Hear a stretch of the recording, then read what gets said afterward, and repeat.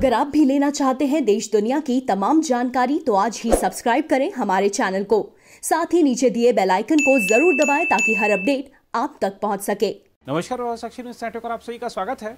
असम के मुख्यमंत्री हेमंत बिश्व शर्मा एक बार फिर विवादों में हैं, क्योंकि उन्होंने अपने पदभार संभालने के बाद हुई कई मुठभेड़ों को उचित ठहराते हुए कहा है कि अपराधी अगर भागने का प्रयास करते हैं या गोलीबारी करने के लिए पुलिस से हथियार छीनते हैं तो मुठभेड़ पैटर्न होना चाहिए।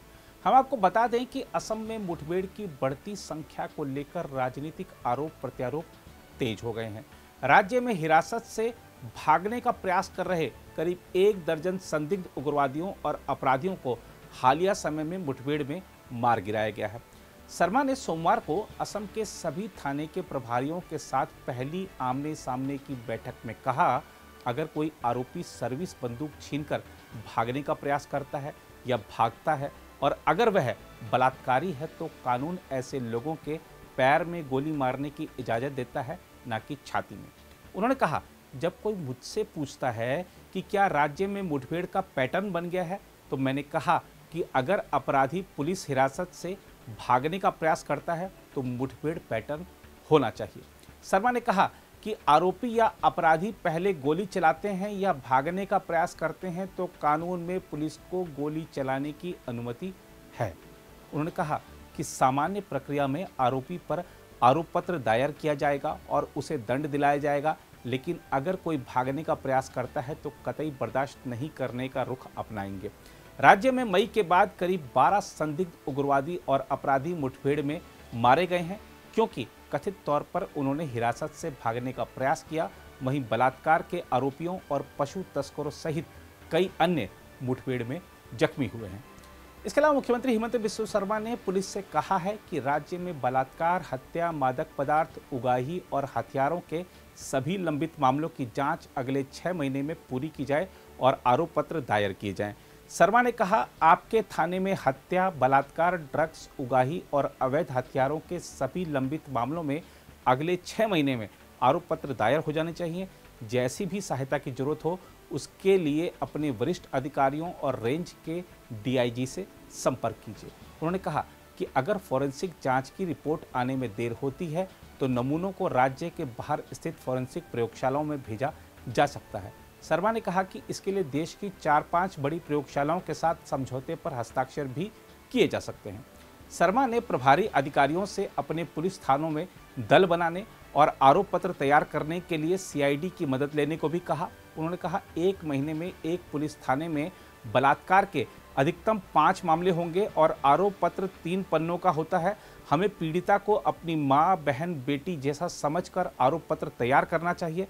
मुख्यमंत्री ने कहा कि अगर आरोप पत्र जल्दी दायर कर दिए जाएँ तो लंबित पुलिस मामलों की संख्या में से 50 प्रतिशत मामलों का निपटारा हो सकता है। उन्होंने कहा कि हर छः महीने में वह प्रभारी अधिकारियों के साथ बैठक करेंगे, इसलिए बैठक के दौरान अधिकारियों को मुख्यमंत्री को जाँच में हुई प्रगति से अवगत कराना होगा।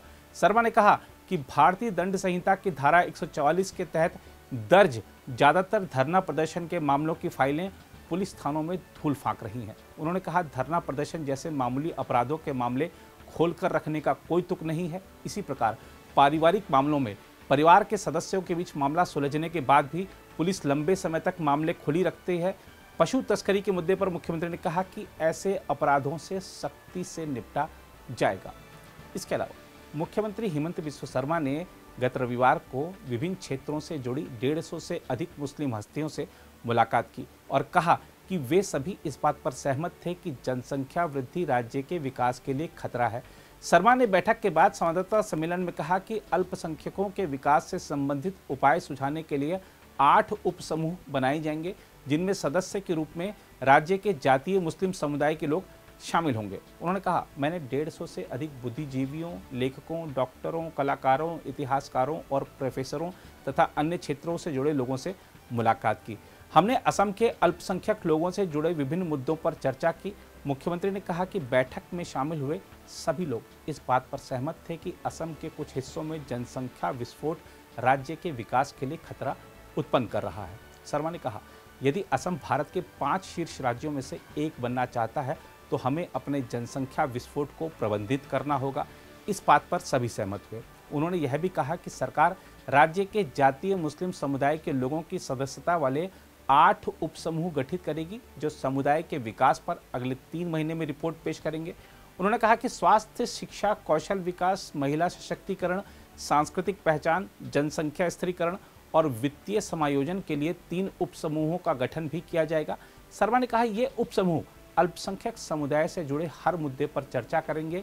रिपोर्ट संकलन के बाद अल्पसंख्यक समुदाय के लोगों के विकास के लिए एक मसौदा तैयार किया जाएगा। उन्होंने कहा, हम अगले पाँच साल में मसौदे के अनुरूप ही काम करेंगे। उन्होंने कहा कि हर उपसमूह में समुदाय से एक अध्यक्ष होगा और सरकार की तरफ़ से एक सदस्य सचिव होगा। मुख्यमंत्री ने यह भी कहा कि अगले दौर की बैठकों में अल्पसंख्यक समुदाय से संबंधित राजनीतिक नेता और छात्र संगठन भी शामिल होंगे। उन्होंने कहा, अगले कुछ दिनों में मैं प्रवासी मुसलमानों या उन मुसलमानों के साथ बैठक करूँगा जिनका मूल पूर्वी बंगाल से है। दोनों मुस्लिम समुदायों और पूर्वी बंगाल से ताल्लुक़ रखने वालों के बीच विशिष्ट सांस्कृतिक अंतर है और हम उनका सम्मान करते हैं। बैठक में मौजूद अधिकारियों ने कहा कि जातीय मुस्लिम समुदाय के प्रतिनिधियों ने अल्पसंख्यक कहे जाने पर आपत्ति जताई और सरकार से आग्रह किया कि उन्हें असम के निवासी कहा जाए। मुख्यमंत्री कार्यालय से जारी विज्ञप्ति में बताया गया है कि बैठक में शर्मा ने कहा कि असम सरकार ने बातचीत कार्यक्रम का आयोजन किया ताकि राज्य में समग्र विकास किया जा सके। इसमें कहा गया है, जातीय मुस्लिम आबादी असम के समाज का अभिन्न अंग है जिन्हें तीव्र विकास की ज़रूरत है ताकि समुदाय राज्य में विकास में बड़ी भूमिका निभा सके और अपनी सांस्कृतिक पहचान भी अक्षुण रख सके।